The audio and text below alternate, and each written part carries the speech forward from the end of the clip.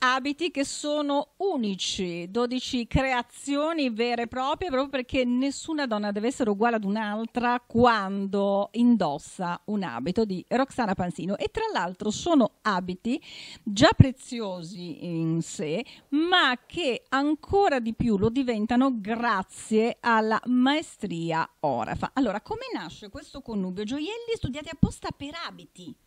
Assolutamente, diciamo che il, questo progetto nasce un, è un progetto nato dall'amore, dall'amore tra me e mia moglie, lei è una stilista di abiti, io sono un gioielliere, per cui abbiamo tentato di fare questo connubio tra le parti e come tutto ciò che unisce me e lei, unisce anche i nostri abiti con, con i nostri gioielli. Maestro Orafo oggi è una vera e propria rarità, si conoscono brand importanti, ma quanto rimane di manuale in questo lavoro che io trovo straordinario, intanto proprio dalla scelta dei materiali che sono preziosi? Assolutamente, è tutto un, un 100% di lavorazione manuale, quindi è tutto fatto, al, fatto a mano, sia partendo dal, dagli abiti che, il, che dai gioielli sono state prese in considerazione appunto la, il fatto di impreziosire gli abiti con eh, dei diamanti, pietre preziose per rendere molto tutto molto più esclusivo. Mi hanno colpito in particolare, ci sono dei gioielli eh, che sono secondo me una novità assoluta, ma poi soprattutto un inedito.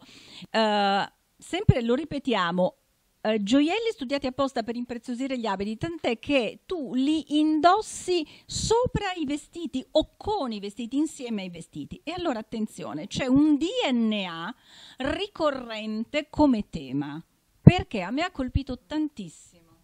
Assolutamente, questo il, il DNA è proprio frutto del, del, nostro primo progetto, è il primo prototipo, quindi come se fosse un pochettino il, il, simbolo di una nascita, il simbolo di una creazione, quindi abbiamo voluto rappresentare questo DNA sia nel, nel nostro logo e sia nelle nostre creazioni. E a proposito di nascita, di DNA, uh, due genitori stupendi già di una creatura stupenda, in attesa del maschietto per avere la coppia perfetta. E quindi dal momento che siamo sotto Natale, i vostri personalissimi auguri ai nostri utenti. Lascio a te l'incarico perché Roxana è timidissima. Niente, assolutamente auguri di buon anno e buon Natale a tutti voi che ci seguite. Grazie mille.